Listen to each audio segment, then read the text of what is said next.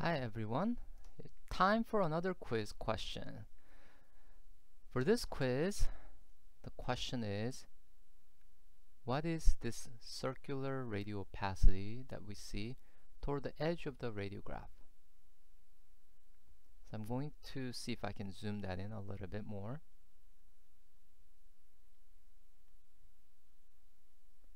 So what is this radio opacity?